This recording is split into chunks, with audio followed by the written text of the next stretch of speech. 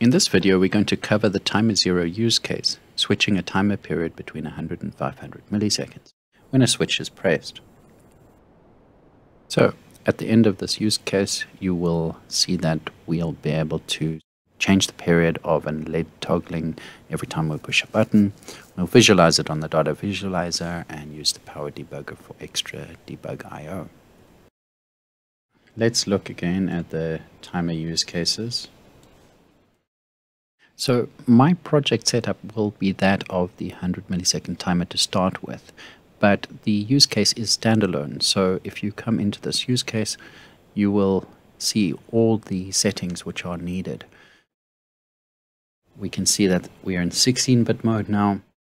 We use a switch pin and we'll check our schematics for that to decide whether we need a pull up and whether to sense on positive or negative. First we change to 16-bit mode. Here immediately you see that we can handle a much longer timeouts so we can switch down without a prescaler and we easily can handle the 500 milliseconds. Going to the kit window schematics, if you use the first use case you would see that we had set up a LED which is on RC1 and the switch on RC0 but also note that our debug GPIO was on RC0 so since we are now using the switch we won't be able to use the debug GPIO for any other functions. So the user button uh, we push this button in and we pull the pin to ground and also note that we'll need a, a pull up on the pin. So coming back to our pins we'll call this switch now. And we're going to want to pull up and negative. So as we push the pin in we get an interrupt on change. And we want that as an input now.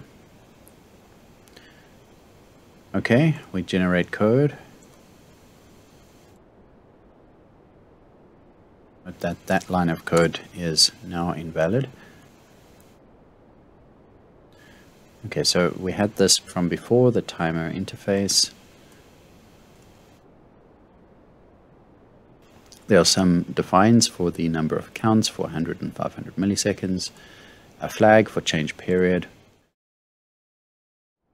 Go back and take the next code snippet, replacing the existing callback for the timer, and then go and get the main, which we'll replace as well.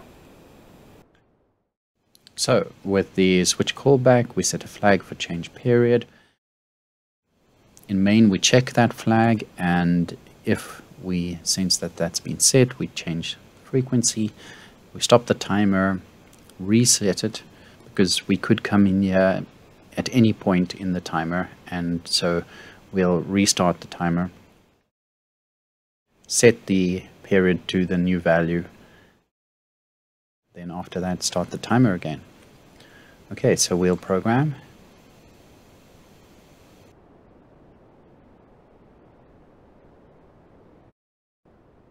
Okay, coming to the data visualizer, we can start plotting some pins.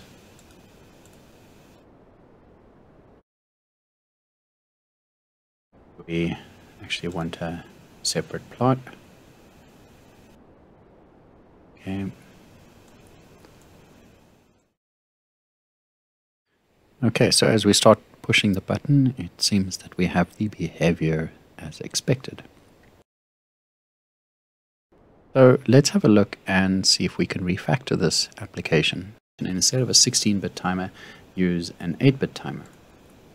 So when we go to 8-bit, we need to have a much larger prescaler than what we had before.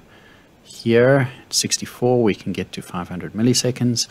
So we can generate code and come have a look at timer zero and see that 2f is what is set up there.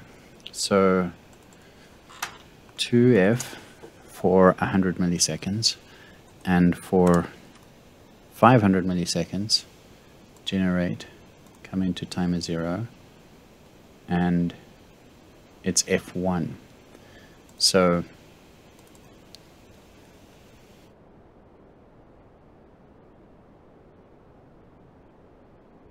two F and F1 we can leave this as starting at 100 milliseconds just to be consistent and program our board.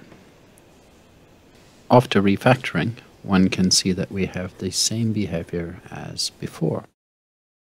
So this use case has demonstrated how you can easily change timer periods at runtime.